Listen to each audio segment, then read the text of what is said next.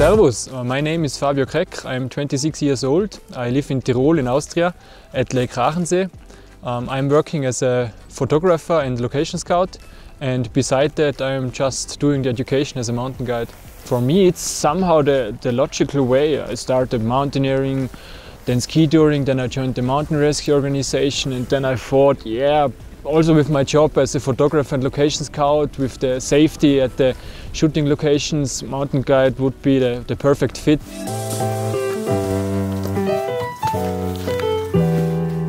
Ski touring means for me freedom and flexibility.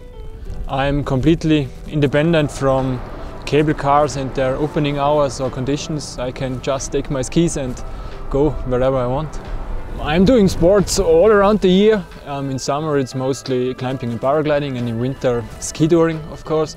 I would say winter is my main season. um, my style of ski touring is depending on the location where I go on ski tour.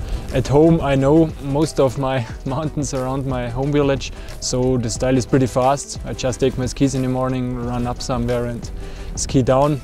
Always searching for fresh snow but if it is not so it's also okay and when I'm in a remote area or somewhere new like in the Dolomites I'm looking for nice powder slopes.